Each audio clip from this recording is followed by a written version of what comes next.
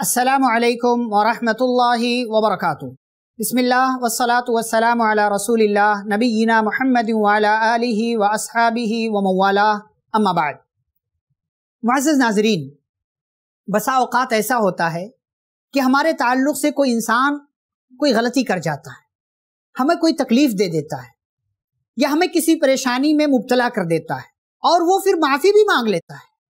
लेकिन हम अपने रवैये अपने एटीट्यूड से इतने मजबूर होते हैं कि हम उसको माफ़ नहीं कर पाते। हम उसको माफ़ नहीं करते हैं।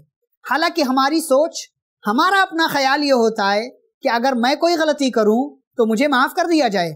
मैं कोई गलती करूँ, माफ़ी मांगू तो लोग मुझे माफ़ कर दें, लेकिन दूसरों की गलतियाँ माफ़ करने के लिए हम तैयार नहीं होते।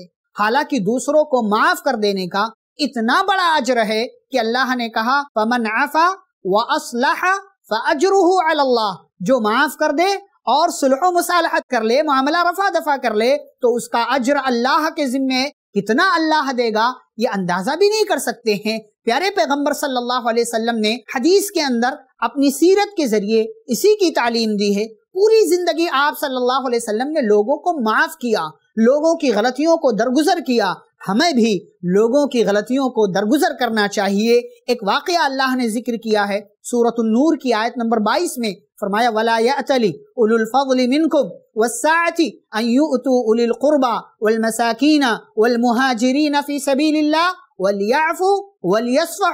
अला तुहिब्बून अन यगफिर अल्लाहु लकुम वल्लाहु गफूरुर रहीम हम छोटी छोटी बातों पर लोगों से इतना नाराज़ हो जाते हैं कि सामने वाला माफ़ी भी मांगे तब भी हम माफ़ करने के लिए तैयार नहीं होते हैं। हम अपने एटीट्यूड से, अपने रवैये से और अपनी जात से मजबूर हैं। हालाँकि इतना बड़ा वाक्य आप देखें, हज़रत अबू बकर सिद्दीक रदी अल्लाह तु की बेटी पर, अम्मा आयशा रदी अल्लाह तहा पर मुनाफिकों ने जिना का इल्ज़ाम लगाया। माहौल ऐसा बन गया कि बाद सहाबा भी उसमें शामिल हो गए। एक सहाबी थे, मिस्ताह बिन असासा रज़ी अल्लाह तहु अबू बकर रज़ी अल्लाह के रिश्तेदार थे और अबू बकर रज़ी अल्लाह बड़े मालदार थे, इनकी किफालत किया करते थे। मिस्ताह बिन असासा रज़ी अल्लाह गरीब थे, अबू बकर रज़ी अल्लाह उनकी किफालत करते थे। लेकिन जब बेटी पर जिना का इल्ज़ाम लगाने वालों में वो भी शामिल हो गए तो अबू बकर रज़ी को तकलीफ़ हुई और तकलीफ़ होना भी चाहिए।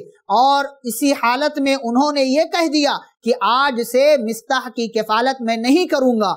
अल्लाह रब्बुल आलमीन को अबू बकर रज़ी अल्लाह की ये बात पसंद नहीं आई। अल्लाह ने सबसे पहले तो अम्माशा रज़ी अल्लाह तहा के ताल्लुक से दस आयतें नाजिल की कि उन्होंने कोई गलत काम नहीं किया है। और उसके बाद इन मुसलमानों पर जो इस इल्ज़ाम में शामिल हो गए थे, उनको अस्सी अस्सी कोड़े मारे गए और हद कजफ लगाया गया उनके ऊपर। और मिस्ताह बिन असासा रज़ी अल्लाह तहों के इस ताल्लुक से अल्लाह रब्बुल आलमीन ने कुरान की आयत नाजिल की। अबू बकर के इस वाक़े को सामने रखकर मालदारों को ये नसीहत मिलती है और तमाम लोगों को ये नसीहत मिलती है। अल्लाह ने कहा, किसी मालदार के लिए मुनासिब नहीं है कि वो किसी मिस्कीन, किसी रिश्तेदार, किसी मुहाजिर पर जो खर्चा कर रहा था, वो अपना हाथ उस पर से उठा ले।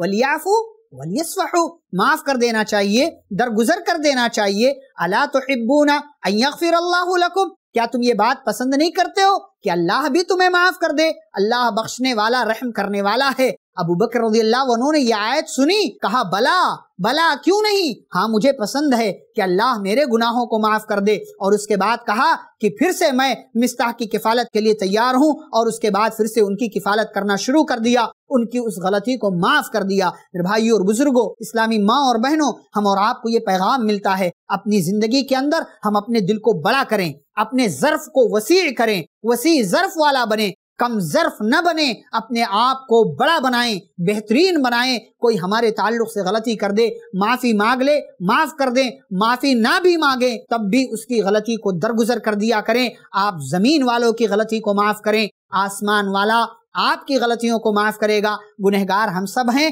हम लोगों की गलतियाँ माफ़ करेंगे। आसमान वाला हमारी गलतियाँ माफ़ करेगा। रब्बुल आलमीन हम सभी को ये बेहतरीन खूबी अपनी ज़िंदगी के अंदर शामिल करने की तोफ़ी अता फरमाए। आमीन। वसलामकुम वरहमतुल्लाहि वबरकातुहू। ऐसे ही और वीडियोस बनाने में हमारी मदद करें।